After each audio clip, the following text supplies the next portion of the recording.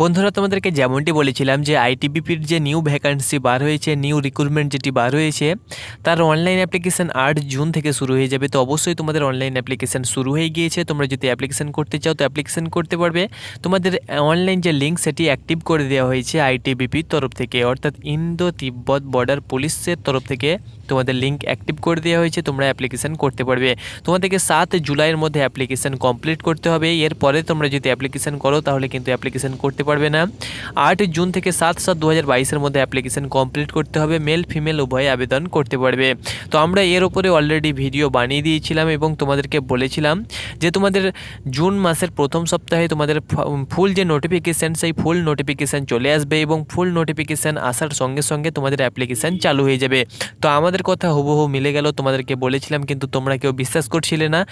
অনেকে বলছিলে যে এটা ফেক ভ্যাকান্সি এটা ফেক ইনফরমেশান তো দেখো, আমরা তোমাদেরকে সঠিক ইনফরমেশান দেওয়ার চেষ্টা করি, আমরা তোমাদেরকে ভুল ইনফরমেশান দিয়ে বিভ্রান্ত করি না ওকে তো প্রথমত তোমাদেরকে বলে দিচ্ছি ভ্যাকান্সি প্রথমত তোমাদের নিউজ পত্রিকার মাধ্যমে বার হয়ে থাকে, অর্থাৎ এমপ্লয়মেন্ট নিউজ পত্রিকার মাধ্যমে বার হয়ে থাকে, তারপরে অফিসিয়ালি ফুল নোটিফিকেশান বার হয়ে থাকে।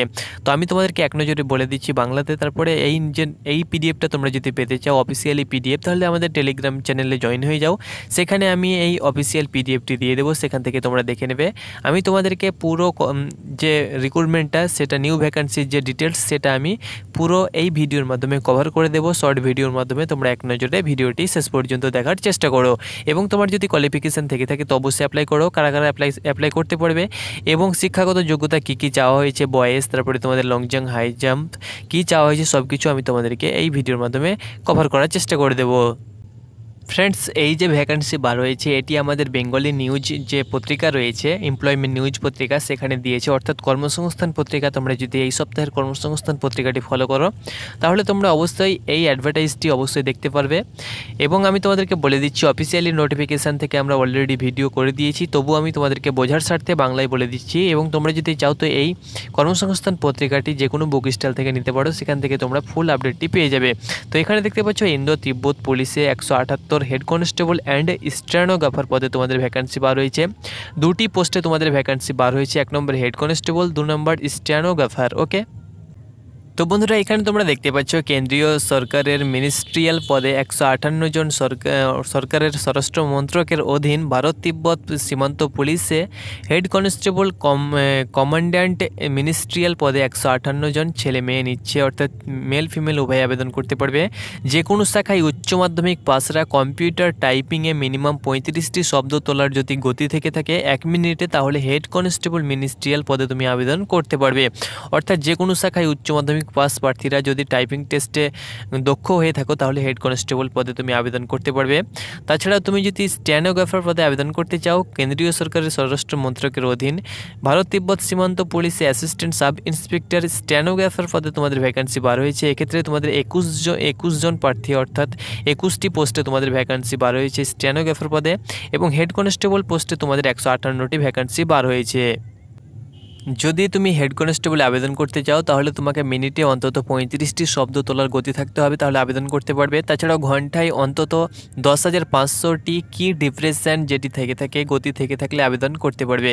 ওকে অর্থাৎ দশ হাজার পাঁচশোটি কি ডিপ্রেশনে যদি গতি থাকে, তাহলে আবেদন করতে পারবে। বয়স হতে হবে এক এক দু হাজার বাইশের হিসাবে আঠারো থেকে পঁচিশ বছরের মধ্যে। অর্থাৎ জন্ম তারিখ হতে হবে দুই এক উনিশশো সাতানব্বইয়ের মধ্যে। অর্থাৎ দুই এক উনিশশো সাতানব্বইয়ের ওপরে যদি তোমার বয়স থেকে থাকে তাহলে আবেদন করতে পারবে না। মূল মাইনে পঁচিশ হাজার পাঁচশো টাকা থেকে একাশি হাজার একশো টাকা পার মান্থ স্যালারি পেয়ে যাবে। শূন্যপদ একশো আঠান্নটি এর মধ্যে পুরুষের জন্য রয়েছে একশো পঁয়ত্রিশটি। জেনারেল পঞ্চান্ন ওবিসি চব্বিশ, তফসিল জাতি বাইশ, তফসিল উপজাতি কুড়ি ইডাব্লিউএস চোদ্দ, মহিলা প্রার্থীদের জন্য ভ্যাকান্সি রয়েছে তেইশটি। এর মধ্যে জেনারেল দশটি ওবিসি চারটি, তফসিল জাতি চারটি, তফসিল উপজাতি তিনটি ইডাব্লিউএস দুটি। সব পদের বলাই তফসিলরা পাঁচ বছর ওবিসিরা তিন বছর। অর্থাৎ এসসি এসটি প্রার্থী হয়ে থাকলে পাঁচ বছর এবং ওবিসি প্রার্থী হয়ে থাকলে তিন বছর বয়সে ছাড় পেয়ে যাবে। অর্থাৎ তিরিশ বছরের প্রার্থীরাও আবেদন করতে পারবে। সে যদি এসসি এসটি হয়ে থাকে তাহলে তাছাড়াও যারা প্রাক্তন কর্মী রয়েছে এবং সরকারি কর্মী রয়েছে, তারাও কিন্তু বয়সে যথারীতি ছাড় পেয়ে যাবে। শারীরিক মাপযোগ হতে হবে ছেলেদের বেলায় অন্তত লম্বা একশো পঁয়ষট্টি সেন্টিমিটার, জেনারেলদের জন্য তফসিল উপজাতি হলে একশো বাষট্টি point five centimetre, and Assam Tripura উত্তর পূর্ব অঞ্চলের প্রার্থী হয়ে থাকলে একশো বাষট্টি পয়েন্ট ফাইভ সেন্টিমিটার। হতে হবে। আর উচ্চতার সঙ্গে বয়সের অর্থাৎ উচ্চতা, উচ্চতার সঙ্গে মিনিমাম তোমার ওজন হতে হবে। মিনিমাম ফিফটি কেজি ওজন হয়ে থাকলে তুমি অবশ্যই ফিট হয়ে যাবে, কোনো অসুবিধা নেই। ওজনের ক্ষেত্রে কোনো কড়াকড়ি নেই। বুকের ছাতি হতে হবে সবারের ক্ষেত্রে না ফুলিয়ে সাতাত্তর এবং ফুলিয়ে পাঁচ সেন্টিমিটার তোমাকে ফুলাতে হবে। অর্থাৎ ফুলিয়ে মিনিমাম তোমাকে বিরাশি সেন্টিমিটার করতে হবে। তফসিল জাতি, তফসিল উপজাতি হয়ে থাকলে ছিয়াত্তর নর্ম্যাল কিন্তু ফুলাতেও সবাইকে পাঁচ সেন্টিমিটার হতে হবে। তফসিল উপজাতি হলে একাশি সেন্টিমিটার ফুলিয়ে করতে হবে। মেয়েদের বেলায় লম্বায় অন্তত পঞ্চান্ন, একশো পঞ্চান্ন সেন্টিমিটার উচ্চতা হতে হতে হবে।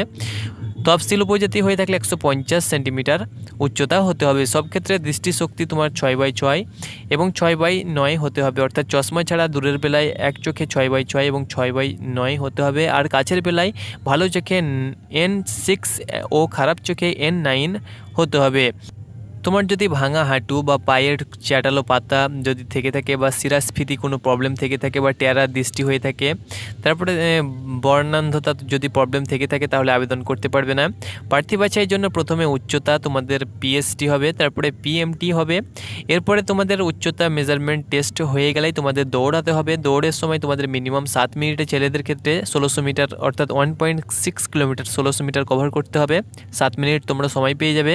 তারপরে তোমাদেরকে এগারো ফুট লং জাম্প করতে হবে, তিনবার সুযোগ পেয়ে যাবে এবং তিন ফুট তোমাদেরকে হাই জাম্প করতে হবে, এতেও তোমরা কিন্তু তিনবার সুযোগ পেয়ে যাবে। আর মেয়েদের বেলায় মিনিমাম রানিং করতে হবে, চার মিনিট পঁয়তাল্লিশ সেকেন্ডে আটশো মিটার দৌড়াতে হবে, তিন ফুট নয় ফুট লং জাম্প করতে হবে, তিনবার সুযোগ পেয়ে যাবে এবং তিন ফুট হাই জাম্প করতে হবে, এতেও কিন্তু তিনবার সুযোগ দেওয়া হবে। সফল যদি হয়ে যাও সব ক্ষেত্রেই, তাহলে তোমাদেরকে যাবতীয় যে প্রমাণপত্র রয়েছে তার পরীক্ষা করা হবে, তোমাদের ডকুমেন্টস তারপরে শারীরিক সক্ষমতার পরীক্ষা হবে। সফল হলে তোমাদেরকে শারীরিক সক্ষমতার পরীক্ষা বলতে তোমাদের মেডিকেল হবে। সফল হলে একশো নম্বরের অবজেক্ট তোমাদের যে পরীক্ষা রয়েছে, অর্থাৎ তোমাদের লিখিত পরীক্ষা হবে ওএমআরের মাধ্যমে। ওএমআর সিটের মাধ্যমে তোমাদের পরীক্ষা হবে। তোমাদের যেসব বিষয়ে তোমাদের পরীক্ষা হবে জেনারেল তোমাদের চারটি বিষয় নিয়ে তোমাদের পরীক্ষা হবে। জেনারেল অ্যারথমেটিক থাকবে, তোমাদের তিরিশ নম্বর। জেনারেল নলেজ পঁচিশ নম্বর জেনারেল ইংলিশ পঁয়ত্রিশ নম্বর কম্পিউটার থিওরি থিওরিটিক্যাল থাকবে তোমাদের দশ নম্বর অর্থাৎ কম্পিউটার বিষয় নিয়ে তোমাদের দশ নম্বর প্রতিটি প্রশ্নের জন্য থাকবে এক নম্বর করে, সময় থাকবে তিন ঘণ্টা। এরপর তোমাদের স্কিল টেস্ট হবে, অর্থাৎ যে টাইপিং টেস্ট সেটি হবে।